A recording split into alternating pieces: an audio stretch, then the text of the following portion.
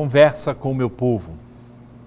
Caríssimo irmão, caríssima irmã, com muita alegria eu retomo com você este programa Conversa com o meu povo, agradecendo ao Padre André Teles, que com grande competência tem me substituído quando acontecem as eventuais viagens e como ocorrerá também daqui a poucos dias por causa da viagem para a Jornada Mundial da Juventude, onde Dom Teodoro e eu seremos dois dos muitos bispos catequistas convidados pelo Pontifício Conselho dos Leigos a ajudar, oferecendo a formação à juventude que participará deste grande evento que terá a graça da presença do Papa Francisco. E Papa Francisco sempre nos surpreende com a abertura da sua alma, a sua grande liberdade. E na última semana ele nos ofereceu um presente precioso, uma encíclica. Encíclica é uma carta do Papa dirigida aos bispos e a toda a igreja sobre algum assunto que diz respeito ao crescimento da vida cristã. E ele teve um gesto muito simpático.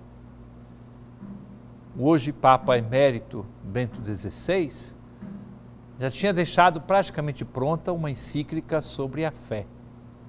O nome, A Luz da Fé, Lumen Fidei, em latim. O Papa Francisco recebeu como um dom para a Igreja o texto que tinha sido preparado por Bento XVI na introdução da encíclica, ele disse que praticamente tomou o texto de Bento XVI com alguns pequenos acréscimos. E, portanto, este texto da encíclica que foi lançada no último dia 5 de julho é feito como que a quatro mãos. É um trabalho feito pelo Papa Bento XVI e depois acolhido e valorizado pelo Papa Francisco na última semana, na inauguração de uma grande estátua de São Miguel Arcanjo, o Papa Francisco convidou Bento XVI, o Papa Emérito, e os dois estavam ali presentes, fazendo uma consagração da cidade do Vaticano a São José e a São Miguel Arcanjo. O fato desta encíclica nova, A Luz da Fé, ter sido escrita, como o Papa mesmo disse, a quatro mãos, com as mãos de dois pontífices, é uma circunstância feliz. Quem ler esta encíclica e a introdução que faço hoje é para provocar e convidar as pessoas a lerem, quem ler poderá perceber, além das diferenças de estilo, sensibilidade e acentos num ponto ou outro, existe uma continuidade da mensagem do Papa Francisco com o magistério de Bento XVI. Assim acontece na igreja. Se muitas pessoas pensavam que haveria uma ruptura, um reinventar a igreja com o um novo Papa, não aconteceu assim. O Papa tem as suas características magníficas, todo um projeto também de crescimento, de reforma de várias estruturas da igreja, mas existe uma sadia e bonita continuidade. A igreja foi instituída por nosso Senhor Jesus Cristo. Ela não é reinventada pela cabeça de um papa ou quem sabe pela cabeça de escritores ou teólogos, seja o que for, a igreja tem essa sadia e bonita continuidade. Como vamos entender esta encíclica? A origem de tudo se encontra em Deus.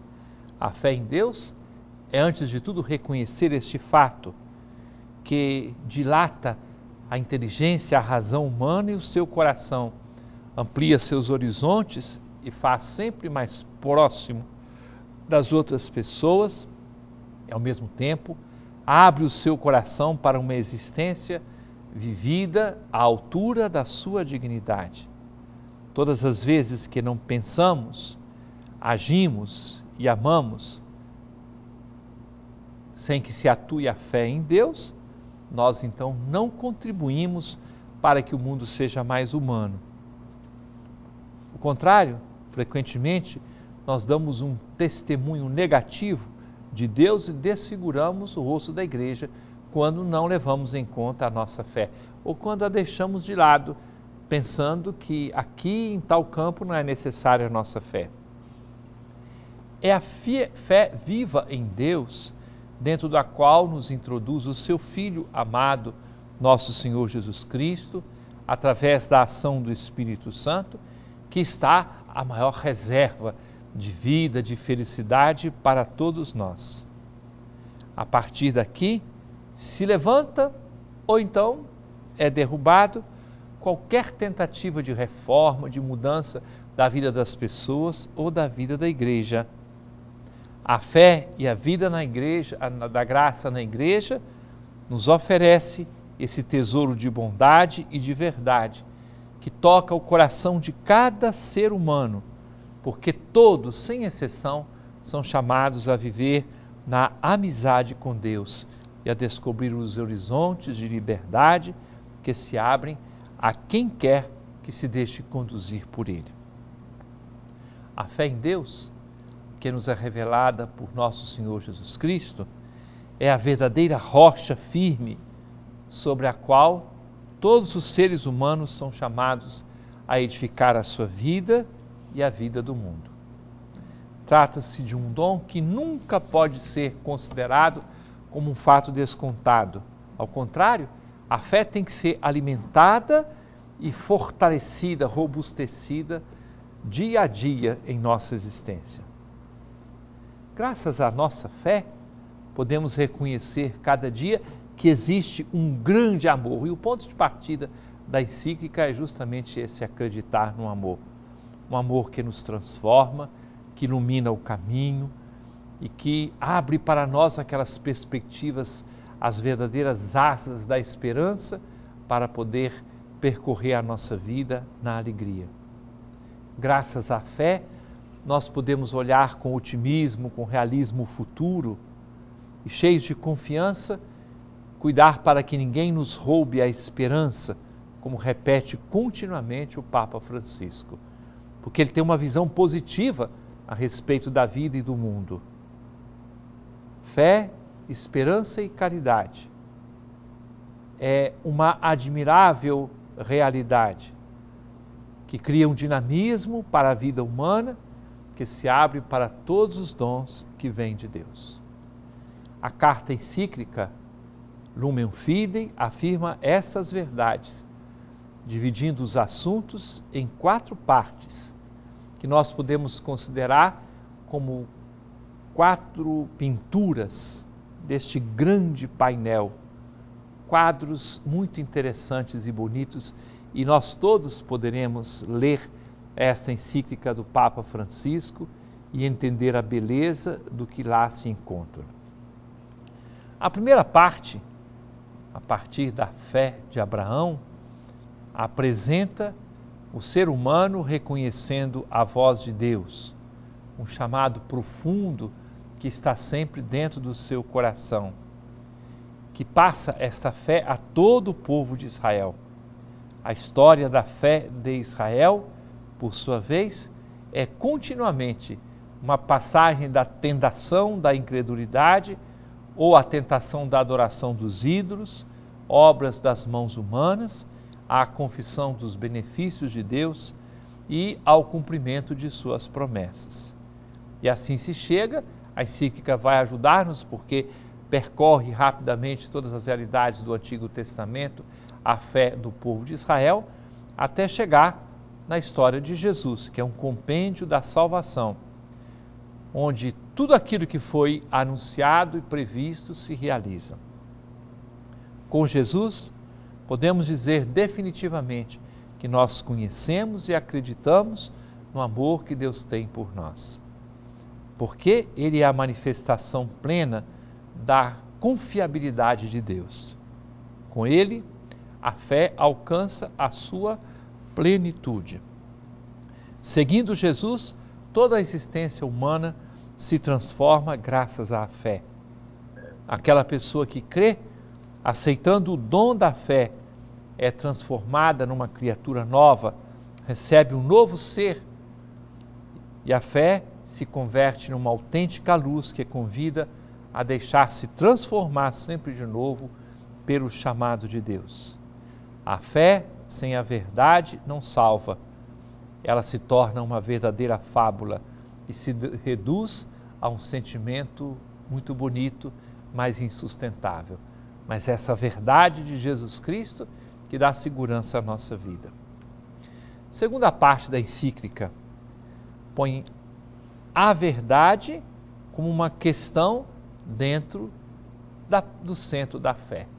Esta afirmação é verdade, trata-se de verdade, não se trata de qualquer coisa. A fé, ela não é contra a nossa inteligência, a nossa razão. Sem a verdade, a fé não salva, torna-se uma fábula ou se reduz a um belo sentimento. A pergunta pela verdade e o compromisso de buscar a verdade não podem ser evitados. Do mesmo modo que a busca da verdade não pode excluir como princípio a contribuição também das maiores tradições religiosas, sobretudo aquilo que diz respeito às grandes verdades da existência humana. Nesse sentido, o que pode oferecer a fé em Jesus Cristo? A fé, abrindo-nos o amor que vem de Deus, transforma todo o nosso modo de ver as coisas, enquanto o mesmo amor traz uma luz. Mesmo quando as pessoas do nosso tempo não, padecem, não parecem acreditar que a questão do amor tenha relação com a verdade, tendo sido relegado à esfera do sentimento, a encíclica do Papa Francisco afirma com muita clareza que o amor e a verdade não podem ser separados. O amor é autêntico quando nos une à verdade enquanto a verdade nos atrai a ela com a força do amor. Vejam que beleza! A descoberta do amor como fonte de conhecimento que pertence à experiência da vida de cada ser humano nos é testemunhada justamente pelo jeito que a Bíblia entende a fé. E é uma das coisas mais lindas, mais bonitas que nós encontramos na encíclica de Papa Francisco. Querido irmão, querida irmã, duas partes da encíclica do Papa Francisco. A base bíblica da fé, a verdade e o amor unidas. São as duas partes da encíclica. Nós continuaremos a explicá-la para que seja como que é uma provocação a que todos tenham vontade de ler e conhecer mais as coisas da vida da igreja. Conversa com meu povo Caríssimo irmão, caríssima irmã, o Papa Francisco deu de presente à Igreja a encíclica Lumen Fidei, a luz da fé. Nesta encíclica, ele não tem medo de afirmar que a fé baseia a razão nos horizontes de uma luz maior também para o nosso tempo. A fé é importante também para os estudos da ciência, assim como para a investigação da pessoa sinceramente religiosa.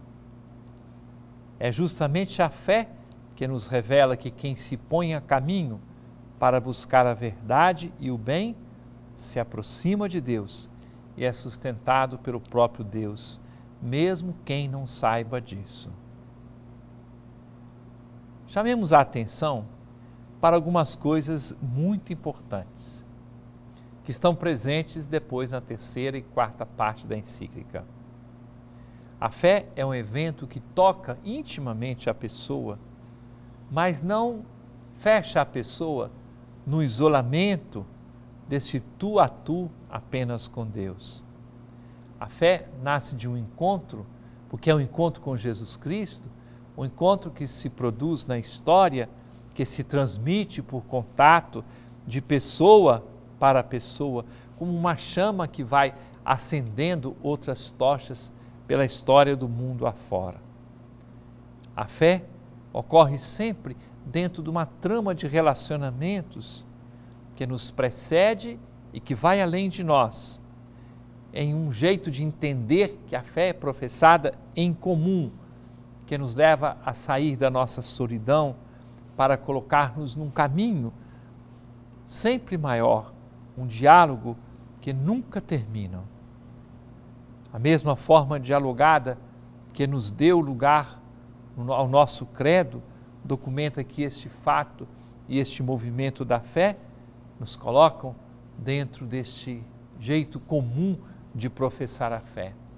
E, portanto, a encíclica nos ajuda a entender que a igreja é o lugar dentro do qual esse movimento da pessoa que nasce a partir da fé vivida tem a sua raiz para novamente ser lançado para uma nova visão do mundo, uma percepção da vida das pessoas. A visão de Jesus Cristo nos leva a enxergar o mundo, a vida das pessoas e a história. É dentro da igreja que nasce a fé. E aí ela se converte numa experiência que pode ser comunicada, pode ser passada. Por isso que nós professamos a nossa fé, mas nós vamos à igreja, nós aprendemos na catequese, nós a testemunhamos, nós a compartilhamos.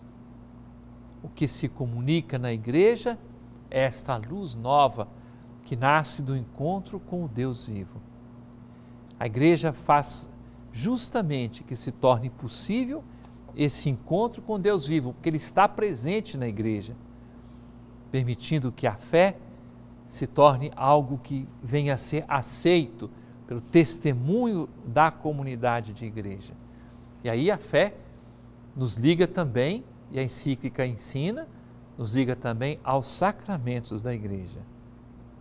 A partir das coisas visíveis e materiais, ela nos move ao mistério. Quando você participa da Santa Missa, dos sacramentos, aqueles gestos externos nos comunicam a verdade do mistério de Cristo. Na terceira parte da encíclica, há uma citação tirada de São Leão Magno. A fé, se, é, é, se ela não é una, não é fé. Não dá para você acreditar um pedacinho. Vivemos, de fato, num mundo em que, apesar dos seus laços entre as pessoas, está todo partido em pedacinhos, praticamente em muitos mundos. E por isso a unidade da fé é um bem precioso que o Papa e os seus irmãos bispos do mundo inteiro, e é o convite que ele faz, nós somos chamados a testemunhar e é por isso que eu comunico essas realidades, oferecer, alimentar esta fé que é a fé da igreja, que deve abraçar tudo aquilo que é humano. Não dá para partir, não dá para acreditar um pedacinho da igreja, eu acredito num sacramento, mas não acredito nos outros, acredito no mandamento, mas não acredito nos outros, numa frase do evangelho, mas jogo fora todas as outras. É por isso que a igreja se define como católica. E a nossa fé é a fé católica porque ela está fundamentada, está fundada na verdade. E nós queremos servir a essa verdade. E queremos assimilar tudo o que se encontra nas várias partes da nossa fé professada, para que em todas as culturas, todos os ambientes em que nós nos encontrarmos, seja possível comunicar a mesma fé da igreja. Esta unidade a que nos introduz o Deus que é Pai de todos nós, nos ajuda também a encontrar a raiz da fraternidade. Sem verdade e sem Deus, o sonho de uma fraternidade universal não tem possibilidade de se realizar, se realizar. E nós construiríamos uma torre de Babel. Que bom entender essas coisas. A fraternidade sem ligação a um pai comum não subsiste, não se mantém. Leia número 54 da encíclica Lumen Fidei. A história do nosso tempo e dos últimos séculos nos oferece uma ampla documentação dessa verdade.